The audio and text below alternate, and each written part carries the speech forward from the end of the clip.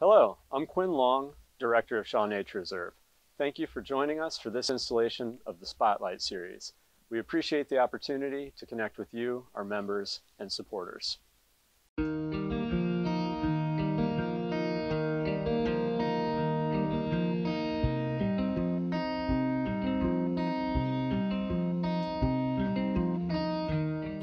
Earlier this year, on March 2nd, the Nature Reserve turned 96 years old. In 1925, on that date, the Missouri Botanical Garden Board of Trustees acquired five contiguous farms comprising 1,300 acres. At the time, industrial air pollution and poor air quality in the St. Louis region posed a threat to the living collections of the Botanical Garden, particularly the orchid collections. An orchid range was established here at the Gray Summit Extension, as it was known at the time. Earlier this year in January, the Spotlight series focused on a behind-the-scenes tour of the orchid range at the main campus of the garden. Had we been doing that behind-the-scenes tour in the 1930s, we would have been coming directly from here in Gray Summit, Missouri to explore the orchid range. However, much has changed in the century or near century in between. In the intervening years, air quality has improved and the living collections of the Missouri Botanical Garden are more vibrant and vital than ever before. In those intervening years, the acreage of the Nature Reserve has expanded to over 2,400 acres that provide a refuge for native biodiversity and a popular destination for visitors to explore the native beauty of our region. With the diversity of natural habitats, including prairies, glades, woodlands, and wetlands, and the Meramec River, the Nature Reserve provides a microcosm of our region's natural splendor, all within close proximity to St. Louis. These natural features, combined with beautiful, historic structures, such as the Victorian manor of the Bascom House and the log cabins of the Dana Brown Overnight Center, make the Nature Reserve a unique setting for weddings and other special gatherings, and events such as the Daffodil Dash Fun Run, spring and fall wildflower markets, the Shaw Nature Reserve Art Show, and Whitmire Wonderlights, which transforms the Whitmire Wildflower Garden into a whimsical luminary walk for the holidays. While events have necessarily been canceled or modified to ensure the safety of our staff and visitors amidst the pandemic, attendance at the Nature Reserve, both among members and non-members, has increased significantly. With over 17 miles of hiking trails, the Nature Reserve provides a safe environment for both exploration and tranquility in these challenging times. While there's always more to explore at Shaw Nature Reserve, for the Spotlight series, we want to provide a behind-the-scenes look at the mission. Our efforts to inspire stewardship of our environment are comprised of three core mission components, environmental education, native plant horticulture, and ecological restoration. Today, we'll be joining staff who provide leadership for each of these core mission areas to discuss their work and exciting new projects in each of these facets of our mission, including accessibility enhancements to the Nature Explore classroom, the development of the new Ozark Ethnobotany Garden, and recent grants for ecological restoration that provide capacity to mentor the next generation of land stewards and enhance habitat for endangered bat species.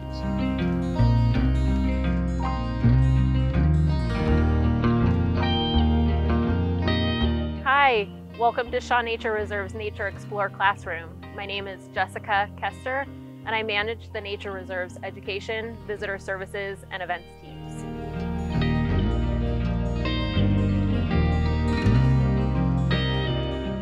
In 2005, Richard Louv published a pivotal book called Last Child in the Woods, and it really focused on the disconnect between children and nature and their increased use of screen time. This book emphasized the importance of the outdoor educational programs that the Nature Reserve has offered for families and young people for decades and continues to develop today.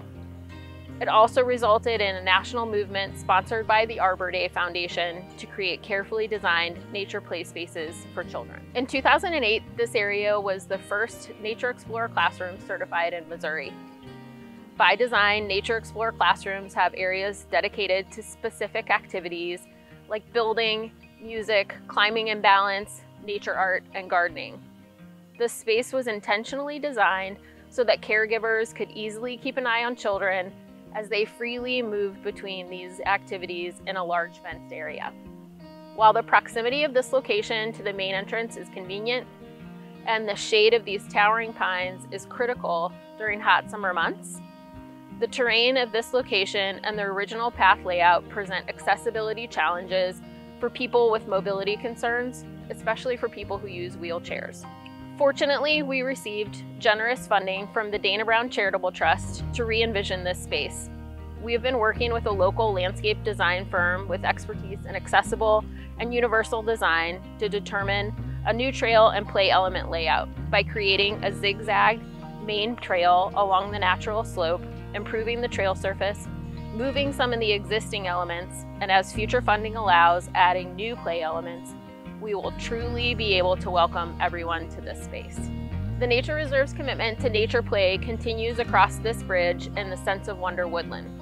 Research continues to emerge that time spent in nature benefits children in many ways, including building confidence, promoting creativity and imagination, developing cooperation and problem-solving skills, and reducing stress and fatigue. In support of these important developmental factors, the Ott family donated funding for the Sense of Wonder Woodland in honor of Mary Ott. This creative space opened in 2015 and includes a lookout tower, a mud kitchen, a storytime area, and more. Typically, this area hosts a storybook walk, which is a deconstructed picture book posted on signs along this trail, making the important connection between literacy and nature. Time spent in natural areas like this playing and exploring helps children develop lifelong connections with nature. By spending time here during early childhood years, families are more likely to spend time at Shaw Nature Reserve, exploring the rest of our trails and in other natural areas. We look forward to seeing you out on the trails soon.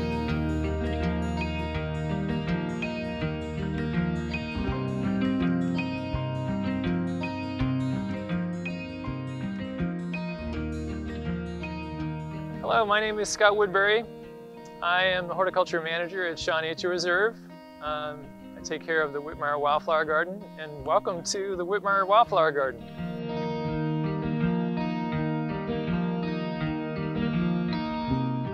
We have new things on the horizon. One of the things that uh, we're very excited about right now is the Ozark Ethnobotany Garden. We're standing in the garden, by the way. The garden hasn't been constructed yet, First phase is this stone wall that's behind me. Plants that were used for food, for fiber, for medicine, for construction are all going to be demonstrated in this wildflower garden. Yes, they will be native plants, um, and there probably will be plants that were brought here from other parts of uh, the country and other parts of the world as well. Um, people traded plants, and so we want to try to represent uh, various peoples and the plants that they use through time. We, have been gathering information from experts, from ethnobotanists, uh, from books, and we hope to interview people um, to learn more about how plants were used by Native Americans who lived here before we did. Uh, we hope to interview um, African American communities to see how um, they use plants we hope to also learn more about what early settlers found when they first walked through Missouri uh, looking for plants. It's very exciting because there's so many plants that are useful for humans and many of them are beautiful and also useful. So that's really the intersection of what this garden is about. We are gonna have a log cabin as the centerpiece for the garden. The log cabin will be a period cabin that came from Viburnum, Missouri. It'll be a place where we can teach and demonstrate the uses of native plants, uh, the preparations of plants for, uh, for food, fiber, and medicine. The wall that surrounds the garden is really the, the glue that ties this garden together. Some of the plantings are going to be beyond the wall, but most of the garden is going to be inside in a series of garden spaces that are going to be brimming with with native plants, plants that we haven't had an opportunity to grow before. Uh, we're going to create something that is attractive. Uh, visitors will be able to walk through the garden, enjoy their experience hopefully, sit on a porch of a period log cabin, look out over the garden, and, um, and learn about what plants were used for hundreds of years by people, and hopefully learn also about plants that they can grow at home and use at home to make things like persimmon pudding or pawpaw ice cream, the wonders of uh, wild plums and how they are so deliciously tart um, and make really great jams and jellies. These are the kind of things that we're going to be demonstrating here and bringing to the general public. So thank you for coming. Uh, thank you for uh, seeing our garden, our future garden, and uh, look for us in 2021 and 22 as we develop the rest of this project, start getting plants in the ground. Uh, we love to have you out, and I look forward to having you in the garden in the near future.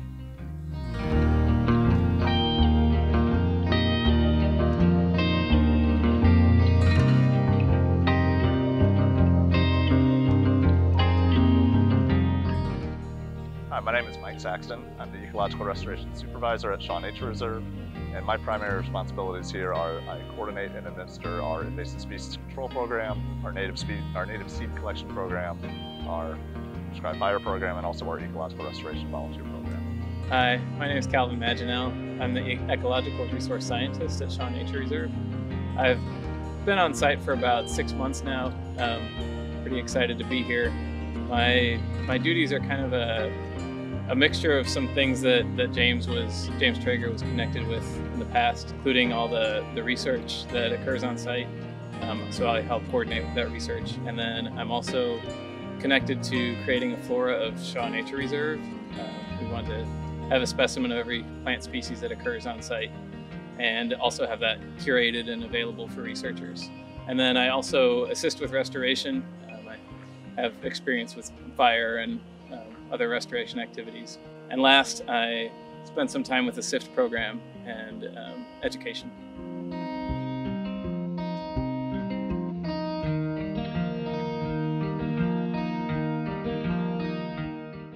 so we like to say that we started conducting ecological restoration at Shaw Nature Reserve in about 1980. So we've got a long history of managing the land for ecological biodiversity. Uh, we've I started here in 2016 as basically a crew of one, and at present we're essentially a crew of seven now. So we have five ecological restoration technicians, full-time uh, positions, uh, Calvin and myself, and a lot of this was made possible by the, support of uh, grant funding from foundations and from uh, federal agency. So currently we have three really exciting programs that we're working on. So one of those is working with the U.S. Fish and Wildlife Service. Uh, it's a three-year project where we are working specifically in riparian habitat along the Meramec River uh, for the, to create an enhanced habitat for the federally endangered Indiana bat. Uh, the second program that we're working on right, right now, grant funded program, is uh, with support from the Robert J. Trulaske Jr. Family Foundation. Uh, we are working in 100 acres of the nature reserve that have proven to be challenging acres, acres with high levels of uh, non-native invasive species and low levels of our target uh, native flora and fauna. So we are, uh, with their support, we are specifically going after these 100 acres of uh, degraded habitat and making that into high quality native habitat. So the third grant that we are excited to be working on is the Bellwether Foundation. Um, that's a collaboration between Shaw Nature Reserve and the Center for Conservation and Sustainable Development at the main campus. And that project um, on our end and in general is all about capacity building. So we're working with our restoration technicians to, um, to help train them and, and further their skill sets, as well as work on, on site to manage some of the natural communities that Mike was discussing a moment ago. So it is a really exciting time for us uh, in that we've been we've been expanding our capacity. We've got more crew on board, and, and now more than ever, we've, we've expanded the number of acres that we're working in uh, across our 2,400 acres of Shaw Nature Reserve. And it's with a with a sense of urgency that we're doing this work. We have the we have the capacity to do the work now. There's a sense of urgency in that uh, we have a lot of momentum built up over years of years of building, and, and we feel like we're we're at a really good point in our in our program's history where we're doing a lot of good work and we have a, a good vision and a plan about where we're going in the future. 2030 is also the decade on um, restoration, ecological restoration, global ecological restoration. So um, being a part of that and, and being able to you know, work together on these, these larger projects and, and get more done feels really good.